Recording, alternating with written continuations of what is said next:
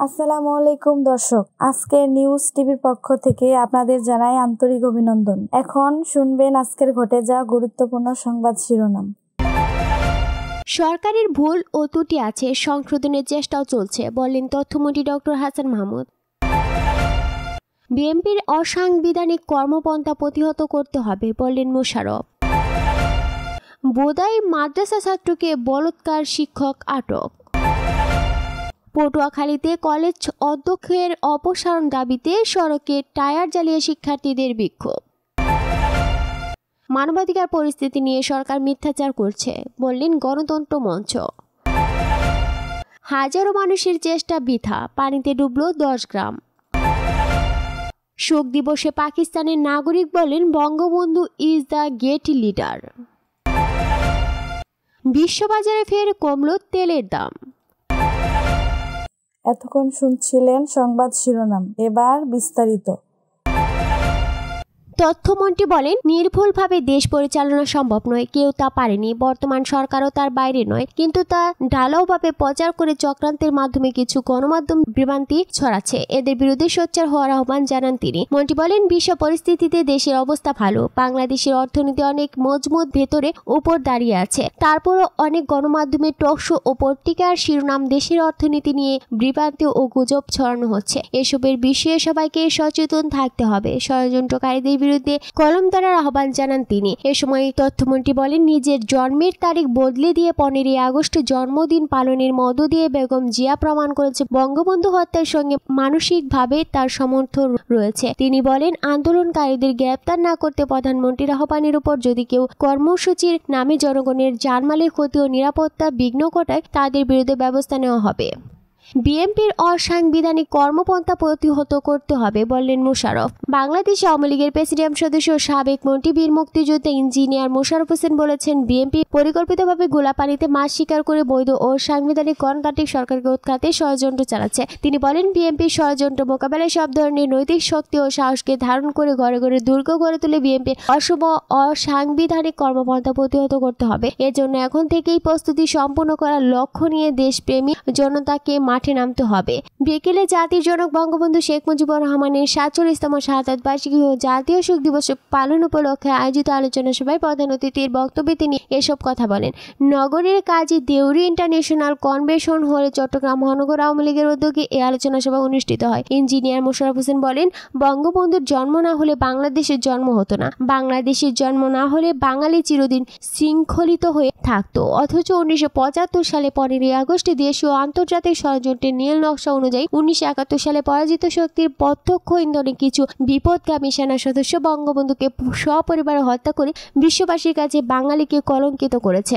তিনি বলেন, প্রধানমন্ত্রী শেখ হাসিনা বাংলাদেশ যেখানে থেকে টেনে তুলে উচ্চতার আসনে বসিয়েছেন তা অনেকের সহ্য হচ্ছে না। এরা জনগণকে বিভ্রান্ত করার জন্য নানা ধরনের মিথ্যাচার করছে। চট্টগ্রাম মহানগর আওয়ামী লীগের ভারপ্রাপ্ত সভাপতি মাহাতাব উদ্দিন চৌধুরীর সভাপতিত্বে মহানগর আওয়ামী লীগের প্রচার ও প্রকাশনা সম্পাদক আলহাজ শফিকুল ইসলাম ফারুকের সঞ্চালনায় অনুষ্ঠিত জাতীয় শোক দিবস আলোচনা সভায় বক্তব্য রাখেন চট্টগ্রাম মহানগর আওয়ামী লীগের সাধারণ সম্পাদক সাবেক সিটি মেয়র আজম নাসির উদ্দিন সহ আরও অনেকে।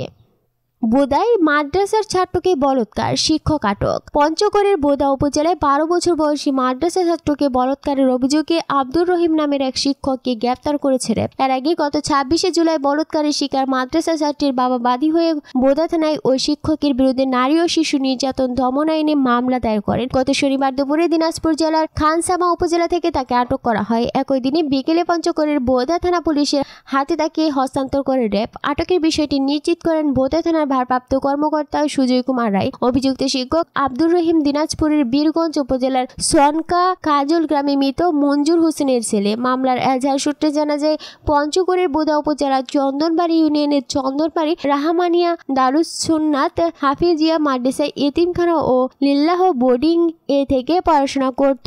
বলৎকারের শিকার ওই ছাত্র। গত দুই থেকে তিন মাস আগ থেকে মাদ্রাসা শিক্ষক আব্দুর রহিম তাকে তার রুমে ডেকে পা চিপে নেওয়ার কথা বলে বলে বিভিন্ন প্রকার ভয়ভীতি ও হুমকি দিয়ে বলৎকার করত। ঘটনার পর সে ভয় বিষয়টি কাউকে বলেনি। গত বাইশে জুলাই ভোরের শিক্ষক আব্দুর রহিম পা টিপে নেওয়ার কথা বলে কৌশলে তাকে আবার তার রুমে ডেকে নেয়। এক সময় আবারও ভয় দেখিয়ে জোরপূর্বক বলাৎকার করে।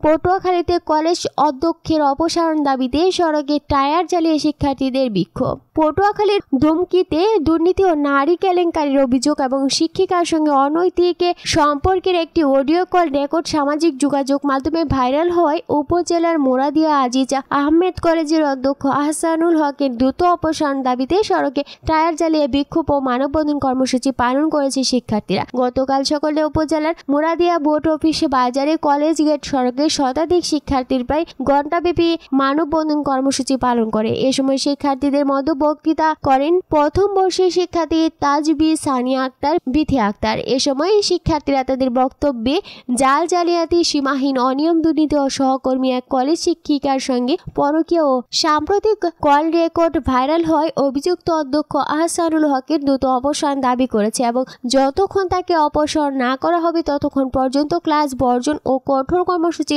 ঘোষণা দেন। উল্লেখ্য, কলেজ অধ্যক্ষ আহসানুল হকের বিরুদ্ধে নিয়োগ জালিয়াতি কলেজের অর্থ আত্মসাদ সহকর্মী এক শিক্ষিকার সঙ্গে পরকীয়া সহ নারী কেলেঙ্কারির একাধিক অভিযোগ রয়েছে। এছাড়াও অভিভাবক ও এলাকাবাসী ক্ষুব্ধ হয়ে অভিযুক্ত অধ্যক্ষ আহসানুল হকের অপসারণ ও দৃষ্টান্তমূলক শাস্তি দাবি করেছেন।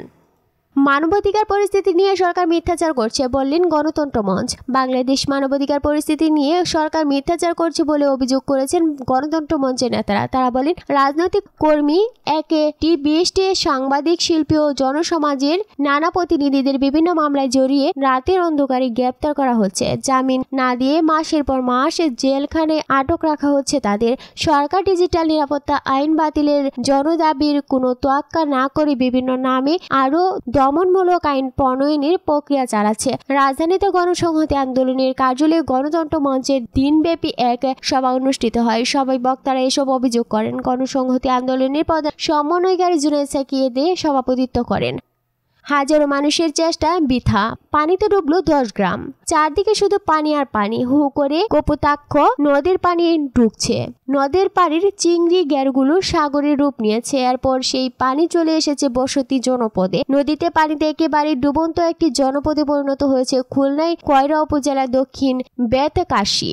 ভোর থেকে বেলা সাড়ে বারোটা পর্যন্ত দক্ষিণ বেতকাশি ইউনিয়নের প্রায় দুই হাজার মানুষ স্বেচ্ছাশ্রমে চড়ামুখা গ্রামের কপোতাক্ষ নদীর প্রায় দুইশো মিটার বাঁধ নির্মাণ শেষ করে। কিন্তু বাঁধ নির্মাণ শেষে বাড়ি ফিরতে, না ফিরতেই প্রবল জোয়ারের সেটি ভেঙে আবারও লুকালয়ে পানি প্রবেশ করে। ডুবে যায় দশটিরও বেশি গ্রাম। এতে পানিবন্দী হয়ে পড়েছে পনেরো হাজারের বেশি মানুষ। ইউনিয়নের পদ্মাপুকুর গ্রামের তোয়েব আলী বলেন, গ্রামের কয়েক হাজার মানুষ গিয়ে ছয় ঘণ্টা কাজ করে বাদ দিয়ে বাড়ি ফিরতে ফিরতে আবারও ভেঙে পুরো এলাকা প্লাবিত হয়ে গেছে। কতবার ভাঙবে আর আমরা কতবার ঠিক করব তা বুঝতে পারছি না। বিনা পানি গ্রামের গোপাল মিস্ত্রি, চলতি মৌসুমে ছয় বিঘা জমিতে আমনের আবাদ করেছিলেন। লবণ পানিতে ডুবে গেছে তার ফসল। তিনি বলেন, ধানের আশা ভরসা শেষ। নদীর জোয়ার মাঠের সঙ্গে মিলেমিশে চলছে আমাদের জীবন।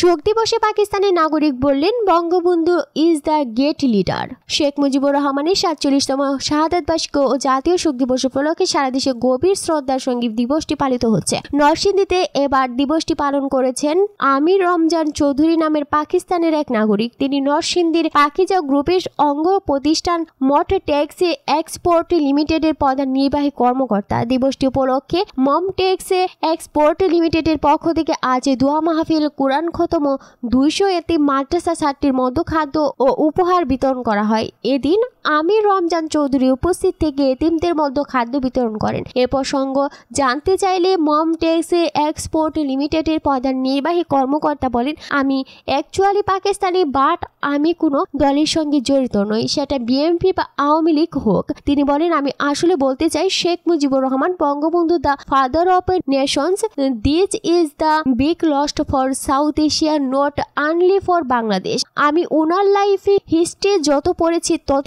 দেখেছি she is a the great leader. ওনার সঙ্গে যা হয়েছিল তা ঠিক হয়নি, উল্লেখ করে আমির রমজান চৌধুরী বলেন, অ্যাকচুয়ালি যা হয়েছিল তা ঠিক হয়নি ওনার সঙ্গে ওনার ফ্যামিলির সঙ্গে। এজন্য আমরা সবাই দুঃখিত। বিশ্ববাজারে ফের কমল তেলের দাম। বিশ্বের বৃহত্তম অপরিশোধিত তেলের আমদানিকারক চীনের অর্থনৈতিক কর্মকাণ্ডের ধীরগতি এবং চাহিদা কমে যাওয়ায় এর প্রভাব পড়েছে বৈশ্বিক জ্বালানি তেলের বাজারে। চীনের চাহিদা কমে যাওয়ায় বিশ্ববাজারে জ্বালানি তেলের দাম আবারও কমেছে। ব্রিটিশ বার্তা সংস্থা রয়টার্স বলছে, আজ দ্বিতীয় সেশনে বিশ্ববাজারে দুই দফায় কমেছে তেলের দাম। অন্যদিকে, বিশ্বের শীর্ষ তেল রপ্তানিকারক কোম্পানি সৌদি আরামকোর প্রধান বলেছেন, তেলের উৎপাদন বাড়াতে তার কোম্পানি প্রস্তুত আছে। বিশ্ববাজারে ব্যান্ড কোট ফিউচারের দাম প্রতি বেরেলে উননব্বই সেন্ট বা শূন্য দশমিক নয় শতাংশ কমে সাতানব্বই দশমিক দুই ছয় ডলারে নেমেছে।